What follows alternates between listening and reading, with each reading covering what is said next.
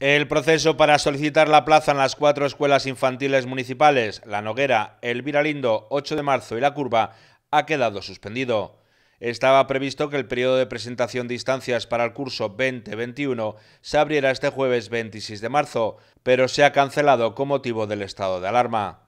El ayuntamiento ya aplazó las jornadas de puertas abiertas que se celebran en cada centro para que las familias puedan conocer el funcionamiento de cada escuela infantil.